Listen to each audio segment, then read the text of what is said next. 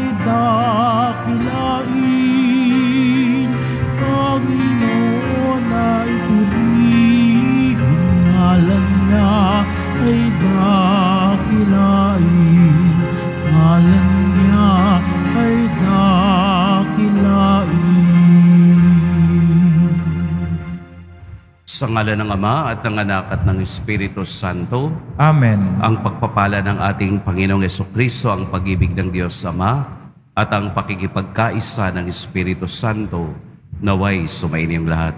At sumayo rin. Mga kapatid, aminin natin ang ating mga kasalanan upang tayo maging marapat gumanap sa banal na pagdiriwang.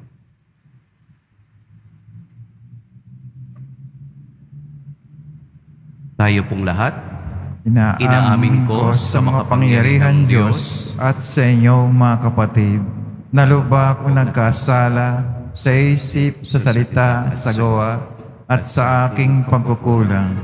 Kaya isinasamo ko sa mahal Birheng Maria, sa lahat ng mga anghel mga banal, at sa inyo mga kapatid na ako'y ipanalangin sa Panginoong ating Diyos. Kaawaan tayo ng makapangyarihang Diyos, patawarin tayo sa ating mga kasalanan at patnubayan tayo sa buhay na walang hanggan. Amen. Panginoon, kaawaan mo kami. Panginoon, kaawaan mo kami. Kristo, kaawaan mo kami. Kristo, kaawaan mo kami. Panginoon, kaawaan mo kami. Panginoon, kaawaan mo kami. Manalangin tayo. Ama naming makapangyarihan, ang paglingkuran ka ayon sa iyong kasiyahan ay kaloob na iyong ibinibigay sa iyong mga hinirang. Gawin mo ang iyong mga pangako ay aming mapakinabangan ayon sa paraang iyong kinalulugdan sa pamamagitan ni Heso Kristo kasama ng Espiritu Santo magpa sa walang hanggan. Amen. Magsipo muna lahat. Pagbasa mula sa sulat ni Apostol San Pablo sa mga taga-Roma. Mga kapatid, tayo'y marami ngunit nabubuo sa iisang katawan ni Kristo at isa't isa'y bahagi ng iba. Yamang mayroon tayong mga kaloob na magkakaiba ayon sa kagandahang loob ng Diyos sa atin. Gamitin natin ang mga kaloob na iyan. Kung pagpapahayag ng kalooban ng Diyos ang ipinagkaloob sa atin, ipahayag natin ito ayon sa sukat ng ating pananampalataya. Kung paglilingkod, maglingkod tayo. Magturo ang tumanggap ng kaloob na pagtuturo at mangaral ang may kaloob na pangangaral. Kung pag-aabuloy, mag-abuloy ng buong kaya. Kung pamumuno, mamuno ng buong sikap. Kung nagkakawang gawa, gawin ito ng buong galak. Maging tunay ang inyong pag-ibig. Kasuklaman ninyo ang masama. Pakaibigin ang mabuti. Mag-ibigan kayo na parang tunay na magkakapatid. Pahalagahan ninyo ang iba nang higit sa pagpapahalaga nila sa inyo. Magpakasipag kayo at buong pusong maglingkod sa Panginoon. Magalak kayo dahil sa inyong pag-asa. Magtiyaga kayo sa inyong kapighatian at laging manalangin. Tumulong kayo sa pangangailangan ng mga kapatid. Ibukas ninyong lagi ang inyong pinto sa mga taga-ibang lugar. Idalangin ninyo ang mga umuusig sa inyo. Idalangin pagpalain at huwag sumpain. Makigalak kayo sa mga nagagalak, makitangis sa mga tumatangis, magkaisa kayo ng loobin.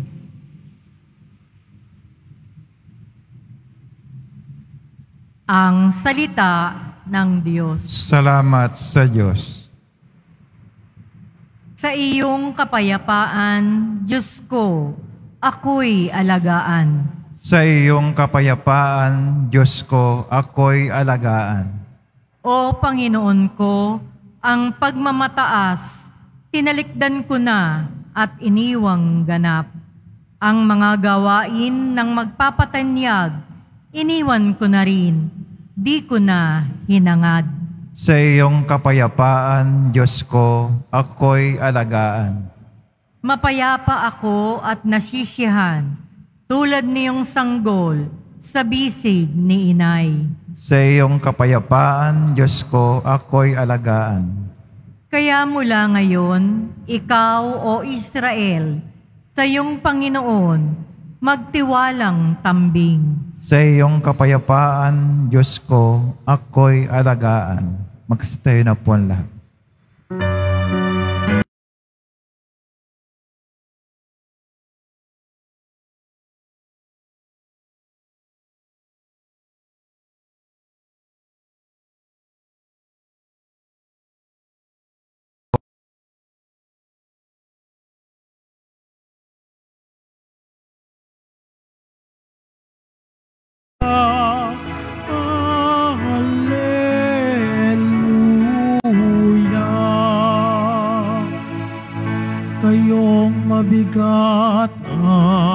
Ang pasan ay kay Jesus maglapitan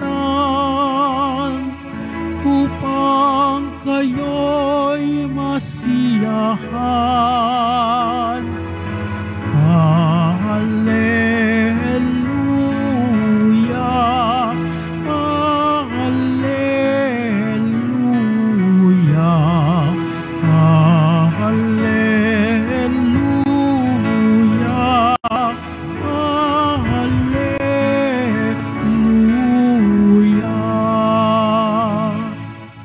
Sumainyo ang Panginoon, At sumayo rin. ang mabuting balita ng Panginoon ayon kay San Lucas. Papuri sa iyo, Panginoon. Noong panahong iyon, sinabi kay Jesus ng isa sa mga kasalo niya sa hapag. Mapalad ang makakasalo sa hapag sa kaharian ng Diyos.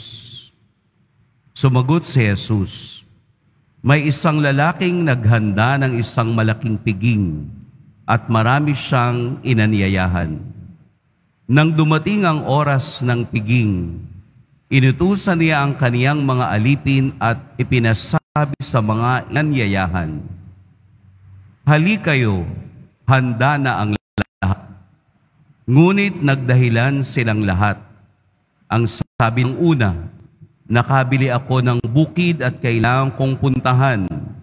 Kayo na sana ang bahalang magpaumanhin sa akin.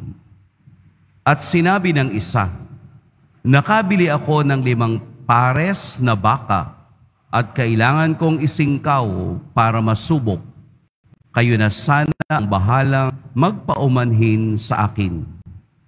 Sinabi naman ng isa pa, bagong kasal ako kaya hindi ako makadadalo. Bumalik ang alipin at ibinilita ito sa kaniyang Panginoon. Nagalit ito at sinabi sa alipin, Lumabas kang madali sa, sa mga lansangan at makikipot na daan ng lunsod at isamo mo rito ang mga pulubi, mga pingkao, mga bulag at mga pilay. Pagbabalik ng alipin ay sinabi niya, Panginoon, nagawa na po ang inuutos ninyo, ngunit maluwag pa. Kaya sinabi ng Panginoon sa alipin, Lubas ka sa mga lansangan at sa mga landas, at pilitin mong pumarito ang mga tao upang mapuno ang aking bahay. Sinasabi ko sa inyo, isa man sa mga unang inanyayahan ay hindi makatitikim ng aking handa. Mga kapatid, ang mabuting balita ng Panginoon. Pinupuri ka namin, Panginoong Heso Kristo. Magsipom mo ng lahat. Magandang umaga po sa lahat. Siguro po sa ating ebanghelyo, ang lahat ay makaka-relate dahil ang mga Pilipino mahilig sa handaan. Di po ba no? Konting okasyon, may handa. Pilitin. Ngayon nga, sa panahon ngayon, pati yung aso o kaya yung pusa, di ba pinagbe-birthday? Madali tayong makaka-relate. Naghanda, nag-imbita, walang dumating. Masakit sa naghanda na marami kang niluto, pero pagdating ng oras, walang dumating. Parang hirap unawain. Pero babalik po tayo sa kultura ng mga Hudyo. Sa kultura po ng mga Hudyo, kapag may mga handaan, lalo na ang kasal, inaabot ito ng isang linggo. Kaya ang nangyayari, hindi sinasabi kung kailan ang totoong kasal. Kumbaga parang sila ay betrothed, no? yung katulad ni Mama Mary and Saint Joseph, sila ay nakatakdang ikasal pero hindi alam kung kailan. Pero yung nakatakdang iyon, isang linggo yung handaan. Kaya ba natin yon? Imaginein mo, isang linggo yung kasiyahan, isang linggo yung inuman, isang linggo yung pagpatay ng mga baka at mga kambing at mga lambs. Kaya pag oras na ng totoong kasal, hindi na nakakadalo kasi hindi na pwedeng lumiban sa kanilang mga personal life o trabaho. Kaya sa ating ebanghelyo ngayon, ito ay sumisimbolo sa tatlong klase ng tao na inimbitahan. Una, yung bagong kasal, may nabiling baka, may nabiling lupa. Iyon yung mga Hudyo na konektado bilang mga mananampalataya ng Old Sinai Covenant. Kuhanin niyo, no? Old Sinai Covenant. Na alam nila ang tungkol sa Diyos, alam nila ang tungkol kay Yahweh, pero hindi nila tinutupad. Mas nakafocus sila sa material and earthly possessions. Kaya nakakahadlang yung imbitasyon na pumunta sila sa handaan dahil meron silang bagay na dapat gawin. Sample natin sa panahon ngayon. Kapag may tindahan ka, lalo na sa palengke, ang pagsisimba, hindi mo na nagagawa. Kasi sayang ang benta. Di ba? Minsan magdadahilan, katulad ng narinig natin, may pagdadahilan. Ang mga taong busy ay maraming dahilan. Ano ang dahilan nila? Eh, pwede naman akong magdasal kahit sa puno ng saging. Pwede naman. Pero wala namang sinabi ang Diyos na magdasal ka sa puno ng saging Puntahan mo ko. Makiisa ka sa pamayanan, sa community na nagdarasal para ikaw ay mapabilang sa mga inimbitahan sa handaan. Ang ikalawang grupo na inimbitahan ay ang mga pilay, mga pingkaw, mga bulag, mga may saklay. Ito ay sumisimbolo sa mga Hudyo na makasalanan at tax collector. Katulad nino, yung mga pariseyo na kumakain si Jesus sa bahay nila. Si San Mateo, halimbawa ng tax collector. Ito yung mga Hudyo na makasalanan pero gustong magbalik sa Diyos kaya they are considered as pingkaw, bulag, at kung ano-ano pang kapansanan. Ang ikatlong grupo dito sa dulo ay yung grupo na hindi kabilang sa pinaghaharian ng Diyos o yung mga hentil. Sila man ay imbitado upang marinig nila ang pagliligtas ng Diyos sa bayan. Napakayaman ng talinhaga, napakalalim ng gustong sabihin ito hindi tayo dapat tumingin sa kaniyang bagay na literal. May ibinibigay ang Diyos, may ipinapakita ang Diyos na ang naghanda ay walang iba kung hindi siya. At ang handaan ay ang banal na Eukaristiya na tayong lahat ay imbitado sa handaang ito na hinanda at ito ang gagawin natin sa langit 24-7. Eh sino yung mga alipin? Ang alipin ay ang mga propeta na ipinadala ng Diyos upang ibalita sa kanila ang araw ng pagliligtas. Ano ang sabi ng alipin? Naimbitahan na po, pero maluwag pa. Tingnan ninyo mga upuan niyo, maluwag pa. Ibig sabihin, maraming nakarinig, maraming inimbitahan, pero hindi sila nagpunta. Kayo na nakarinig, kayo na inimbitahan, kayo na tumugon sa fiesta at hapag ng Diyos, ay binibigyan ngayon ng biyaya na makatikim ng kaniyang handa, ang handa ng kaligtasan sa langit. Marahil, hindi natin ito machu. Ano ba yung chu? Hindi natin ito matunaw. Pero ito ang nasa likod ng Ebanghelyo ngayon. Na tayo ay mga pingkaw, na tayo ay makasalanan, na tayo ay mga bulag, na tayo ay mayroong kapansanan. Ano yon? Yung kapansanan, ang pingkaw, ang pagiging bulag ng pagiging makasalanan. At ito ang biyayang ibinibigay ng Diyos na sa kaniyang banal na Eukaristiya, sa kaniyang handa, ang kaniyang banal na katawan, ang nagiging lakas ng lahat ng mahihina, ang nagiging saklay ng mga pingkaw, ang nagiging mata ng mga bulag, at ito ang nagiging biyaya sa mga taong lumalapit at palagi ang dumadalo sa imbitasyon ng Diyos.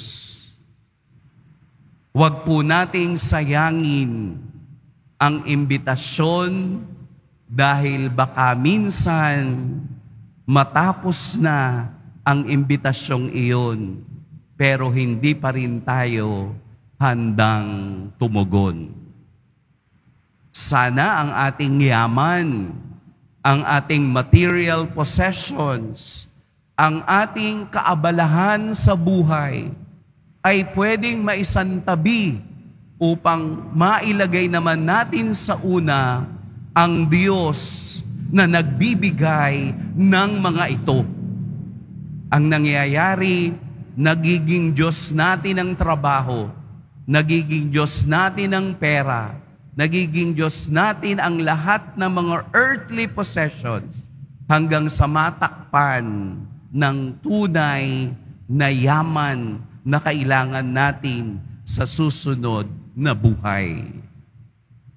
Invited po kayo lahat sa handaan ng Diyos. Pagpalain tayo ng poong may kapal.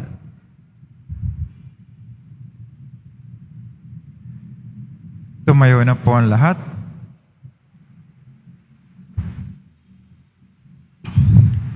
Minamahal kong mga kapatid, may pananampalataya nating itaas sa Ama ang ating mga kahilingan.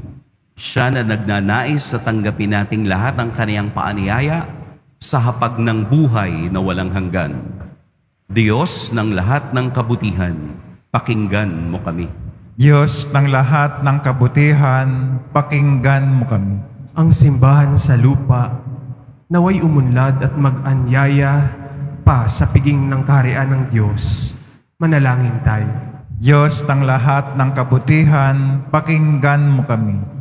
Ang mga mamamayan, gayon din ang mga dukha, naway wag gumawa ng mga dahilan sa kanilang pag-iwas sa tawag ng paghahari ni Kristo sa kanilang buhay. Manalangin tayo. Diyos ng lahat ng kabutihan, pakinggan mo kami. Tayo, naway matagpo ang karapat dapat na makiisa sa hapag ng kordero ng Diyos. Manalangin tayo. Diyos ng lahat ng kabutihan, pakinggan mo kami. Sa pamamagitan ng ating kabutihang loob, tayo naway makapagbigay saya at pag-asa sa mga may sakit at may kapansanan. Manalangin tayo. Diyos ng lahat ng kabutihan, pakinggan mo kami. Ang mga namayapa, naway mabuhay sa tahanan ng Diyos at magbunyi sa hapag ng buhay na walang hanggan. Manalangin tayo. Diyos ng lahat ng kabutihan, pakinggan mo kami. Ama naming Diyos, tinawag mo kami upang makiisa sa iyong kasaganahan. Maging bahagi nawa kami ng mga biyayang pagkakataon na dumaraan sa aming buhay at tumugon kami ng may bukas na puso. Hinihiling namin ito sa pamamagitan ni Kristong aming Panginoon. Amen. Magsipo muna ang lahat.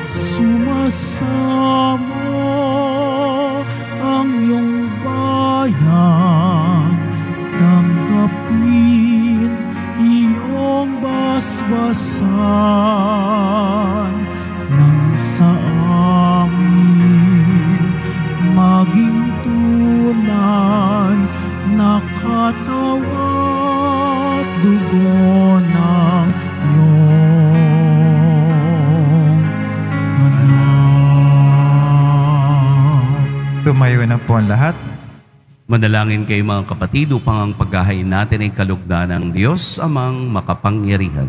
Tanggapin nawa ng Panginoon itong paghahain sa iyong mga kamay, sa kapurihan niya at karangalan, sa ating kapakinabangan at sa buong sambayan niyang banal. Ama naming lumikha, ang paghahain naming ito ay maging dalisay nawa at maging banal na pakikinabang namin sa iyong awang dakila sa pamamagitan ni Heso Kristo kasama ng Espiritu Santo magpas sa walang hanggan. Amen. Sumainiyo ang Panginoon. At sumayo rin. Itaas sa Diyos ang inyong puso at diwa. Itinaas na namin sa Panginoon. It, ip- pasalamatan natin ang Panginoong ating Diyos. Marapat na siya ay pasalamatan. Ama naming makapangyarihan, tunay ngang marapat na ikaw ay aming pasalamatan. Pinagbibigyan mong ito'y aming maihayag kahit na ito'y walang anumang maidaragdag, sa kadakilaang sa iyo ay likas. Sa pagpupuri nami ang nakikinabang, ay kami ring iyong pinakikiharapan sa pamamagitan ng iyong anak na minamahal. Kaya kaisa na mga anghel na nagsisiawit ng papuri sa iyo, nang walang humpay sa kalangitan, kami nagbubunyi sa iyong kadakilaan.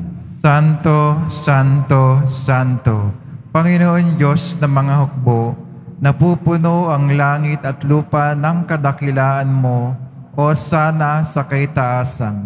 Pinagpala ng paririto sa ngala ng Panginoon, o sana sa kaitaasan. Magsilod po ang lahat.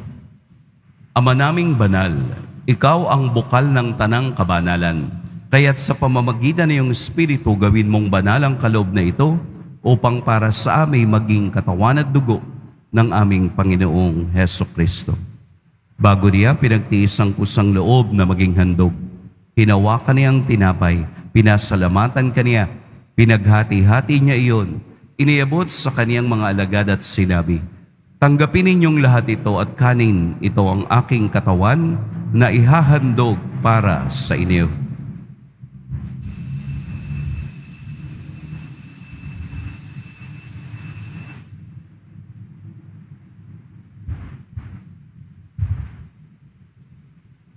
Gayun din naman noong matapos ang hapunan, hinawakan niya ang kalis, muli kaniyang pinasalamatan.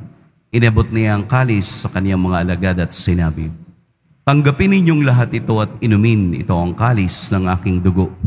Nang bago at walang hanggang tipan, ang aking dugo na ibubuhos para sa inyo at para sa lahat, sa ikapagpapatawad ng mga kasalanan. Gawin ninyo ito sa pag-alala sa akin.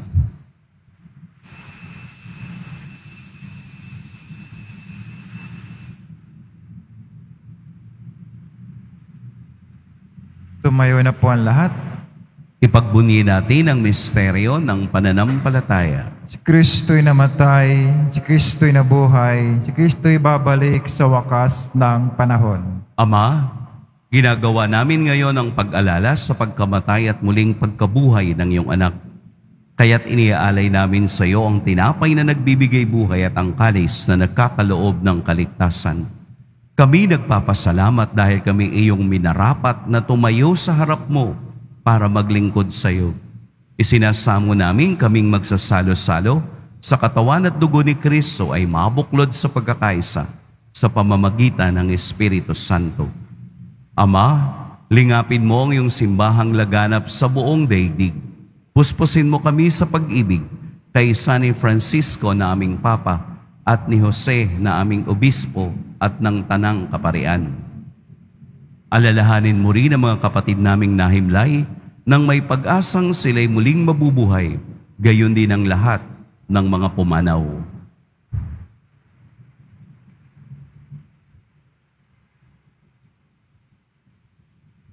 Kaawaan mo sila at patuloyin sa iyong kaliwanagan. Kaawaan mo at pagindapating kaming lahat na makasalo sa iyong buhay na walang wakas. Kaisa ng mahal na Birheng Maria na ina ng Diyos, ng kabiyak ng puso niyang si San Jose, kaisa ng mga apostol ni San Juan Bautista, at ng lahat ng mga banal na mamuhay dito sa daigdig ng kalugod-lugod sa iyo, maipagdiwang nawa namin ang pagpupuri sa ikararangal mo sa pamamagitan ng iyong anak na aming Panginoong Heso Kristo. Sa pamamagitan ni Kristo, kasama niya at sa Kaniya, ang lahat ng parangal at papuri sa iyo, Diyos, amang makapangyarihan, kasama ng Espiritu Santo, magpa sa walang hanggan. Amen. Sa tagubilin ng mga nakagagaling na utos at sa turo ni Jesus na Panginoon natin at Diyos, ipahayag natin ng lakas loob. Ama namin, Sumasalangit ka, sambahin ang ngalan mo, mapasa amin ang kaharian mo, sundin ang loob mo dito sa lupa para nang sa langit. Bigyan mo kami ngayon ng aming kakanin sa araw-araw at patawarin mo kami sa aming mga sala para ng pagkapatawad namin sa nagkakasala sa amin at huwag mo kami pahintulot sa tukso at iadya mo kami sa lahat ng masama. hinihiling namin kami iadya sa lahat ng masama pagkalooban ng kapayapaan araw-araw, iligtas sa kasalanan at ilayo sa lahat ng kapahamakan, samantalang aming pinananabikan ang dakilang araw ng pagpapahayag ng tagapagligtas naming si Heso Kristo. Sapagkat iyo ang kaharian at ang kapangyarihan, ang kapurihan magpakailanman. Amen. Panginoong Kristo, sinabi mo sa iyong mga apostol, kapayapaan ang iniiwan ko sa inyo, ang aking kapayapaan ang ibinibigay ko sa inyo. Tunghayan mo ang aming pananampalataya at huwag ang aming pagkakasala. Pagkalooban mo kami ng kapayapaan at pagkakaisa ayon sa iyong kalooban, kasama ng Espiritu Santo, magpa sa walang hanggan. Amen. Ang kapayapaan ng Panginoon naway laging sumainiyong lahat. At sumayo rin. Magbigayan kayo ng kapayapaan sa isa't isa. Kordero ng Diyos na nag-aalis ng mga kasalanan ng sanlibutan, maawa ka sa amin. Kordero ng Diyos na nag-aalis ng mga kasalanan ng sanlibutan, maawa ka sa amin. Kordero ng Diyos na nag-aalis ng mga kasalanan ng sanlibutan, ipagkaloob sa amin ang kapayapaan. Magsilod po lahat. Ito ang kordero ng Diyos, ito ang nag-aalis ng kasalanan ng sanlibutan. Mapalad ang mga inaanyayahan sa kaniyang piging. Panginoon, hindi ako karapat dapat na magpatuloy sa iyo, ngunit sa isang salita mo lamang ay gagaling na ako. May the body and blood of Christ give us.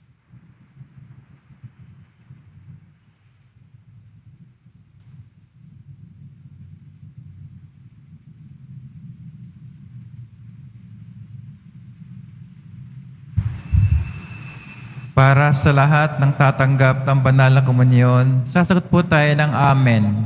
Pagkasabi ng pare o lay minister ng katawan ni Kristo at isubo agad sa bibig bago umalis harapan ng pare o lay minister. Sumunod po tayo. Maraming salamat po.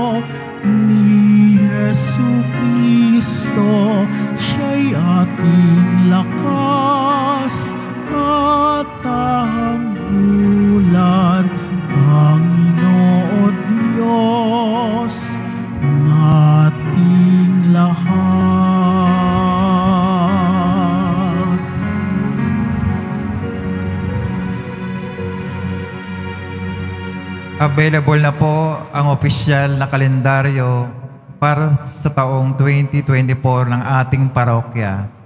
Sa mga nagnanais bumili, Maaari kayong magtungo sa aming Paris office. Ito po ay nagkakahalaga ng 80 pesos.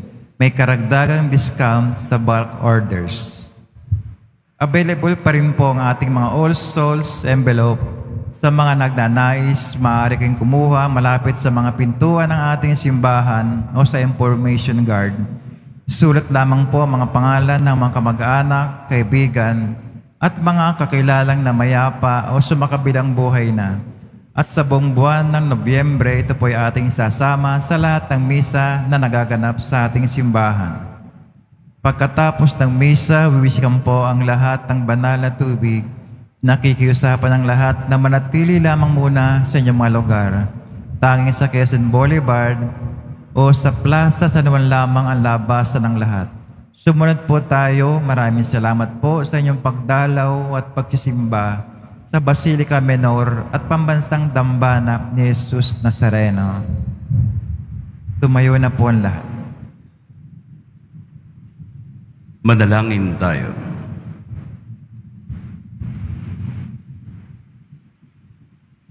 Ama naming mapagmahal, magkaroon nawa ng karagdangang bunga ang iyong ginagampanan sa aming banal na pakikinabang upang sa aming pagsasalo maging handa kaming tumanggap sa katuparan ng pangako mo sa pamamagitan ni Heso Kristo kasama ng Espiritu Santo magpa sa walang hanggan.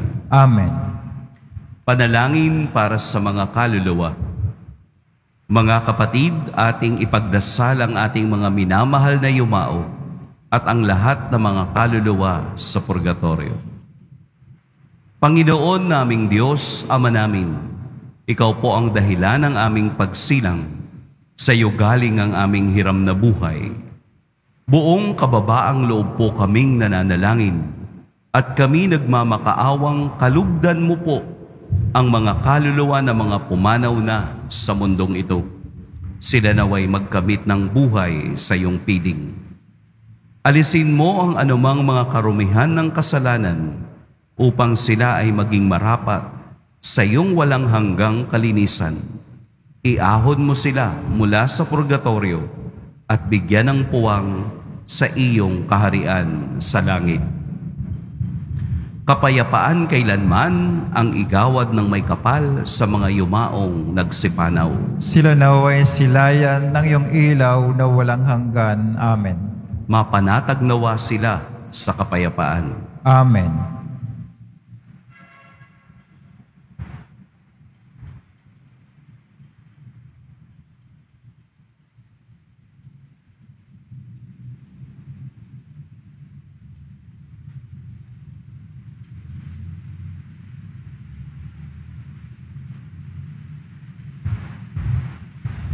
Sumainyo ang Panginoon, At sumayo rin. Yumuko kayo para sa pagbabasbas. Mahal na poong Jesus Nazareno, inihayag mo sa pamamagitan ng krus ang walang maliw na pag-ibig ng Diyos sa sangkatauhan. Pakinggan mo po ang kahilingan ng iyong angkan na nagsusumamo sa iyo. Makamtanawa nila ang iyong katugunan at tanggapin ang kasagutan na may utang na loob na tinatanaw. Basbasan din po ninyo ang mga daladala nilang mga imahen at dasalan sa pamamagitan ng bendisyon na ito, naway maalala nila ang mga pangako nila noon sa biniyag na ikaw ang kanilang iibigin at paglilingkuran bilang Panginoon magpa sa walang hanggan. Amen. At pagpalain kayo ng makapangyarihan at mapagmahal na Diyos, ang Ama at Anak at Espiritu Santo. Amen. Tapos na ang ating pagdiriwang, humayo kayong taglayang kapayapaan ng poong Jesus Nazareno. Salamat sa Diyos.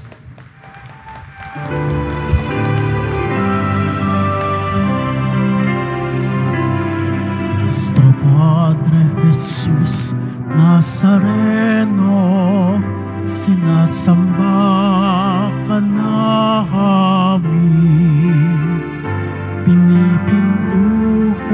Ka namin. Aral mo ang aming buhay at kaligtasan. Nuestro Padre Jesus Nazareno, iligtas mo kami sa kasalanan. Ang krus mong kinamatayahan ay sagisag ng aming kaligtasan. Nuestro Padre Jesus Nazareno, dinarangal ka namin. Nuestro Padre Jesus Nazareno,